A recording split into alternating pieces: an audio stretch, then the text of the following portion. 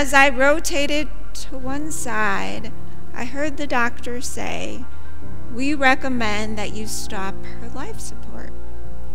We don't think that she's going to make it. And then I rotated to the other side and I couldn't hear anything else. And when I rotated back, they were gone.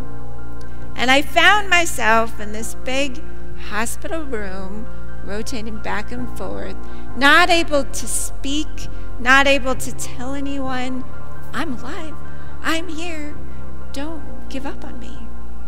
And so growing up, my mom, you know, taught us, you know, to pray and said, if you don't feel like anyone can hear you, God can hear you.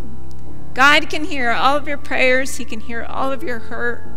And in that moment, I was so scared. I was a 16 year old kid and just not ready to die in any way.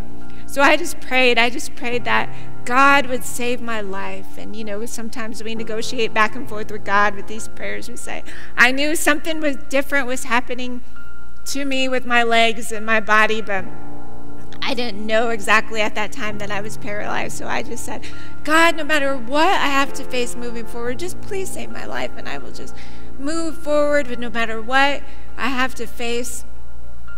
And I just remember rotating back and forth and just praying that prayer. And within days of that prayer, my lungs began to heal.